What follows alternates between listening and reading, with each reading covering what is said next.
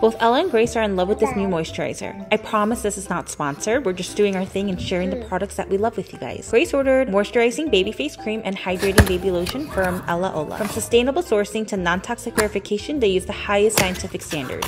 All the products are plant-based, and since Ella has sensitive skin, Grace felt that none of the moisturizer she was using went the extra mile to soothe and moisturize Ella's skin. Ella especially has dry skin behind her neck, so we make sure to moisturize the area well. Grace has been raving about how non-greasy it is, and after moisturizing Ella myself, I concur. Check the details down below for the link to their website.